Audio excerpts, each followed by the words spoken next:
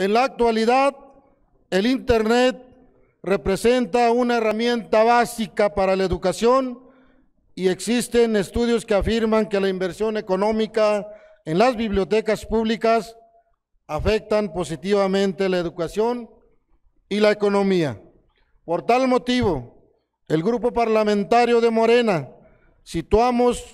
a su consideración la siguiente iniciativa con la finalidad de implementar el acceso gratuito a Internet en, bibliotecas públicas en nuestro estado de Durango. Con esta reforma estaremos fomentando que nuestras niñas y niños duranguenses cuenten con espacios seguros y equipados a fin de superarse escolarmente, promoviendo la educación, el acceso a la información, impulsando la alfabetización y el aprendizaje.